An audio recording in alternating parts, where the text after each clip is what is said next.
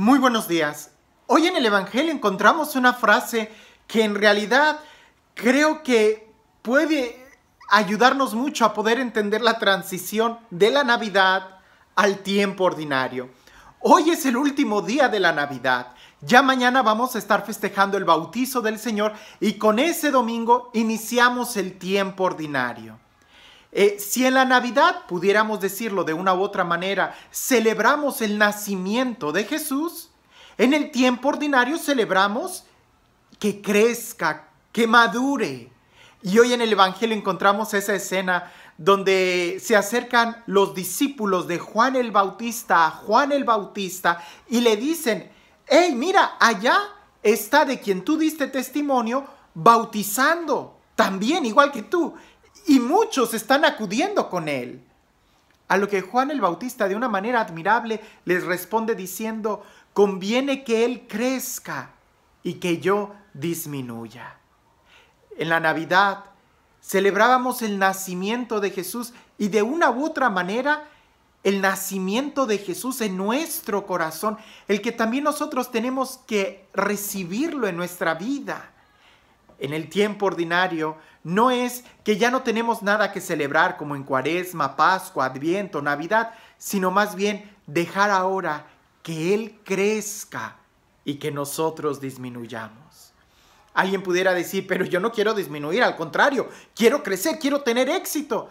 Bueno, en cierta manera tienes que identificar muy bien y tener bien claro en qué consiste tener tu éxito porque en el tiempo de Navidad tuvimos mucha oportunidad para reflexionar que el encuentro con Él y el aceptarlo, aceptar a Jesús en nuestra vida, es en realidad aceptar nuestra más profunda identidad.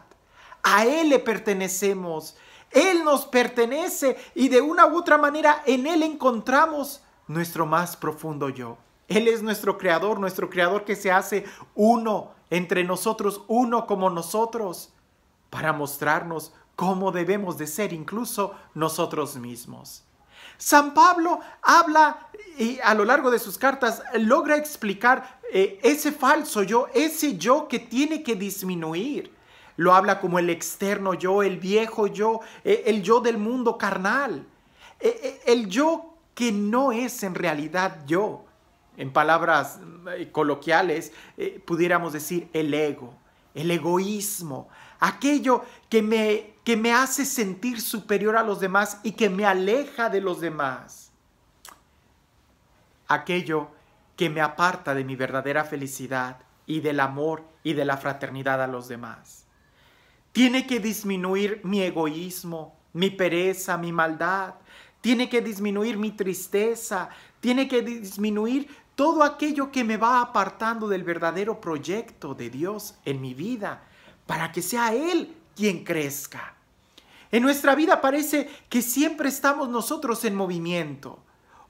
O crecemos en unas áreas, pero en otras disminuimos. En la lectura del día de hoy, San Juan el Bautista nos da ese ejemplo de que Él anuncia a Jesús no solamente de palabra, lo presenta y con su propio testimonio incluso lo señala diciendo, conviene que sea Él el que crezca, porque Él es de quien yo les hablé, Él es el Cordero de Dios, Él es quien bautizará en el Espíritu Santo. Nosotros, de una u otra manera, tenemos que decir lo mismo que San Juan el Bautista. Conviene que sea Jesús ahora quien crezca en mí.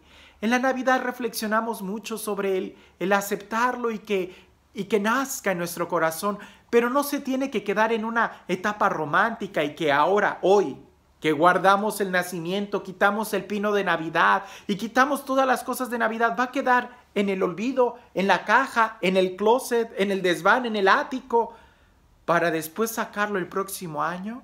No. Tiene que quedarse en nuestro corazón y que crezca.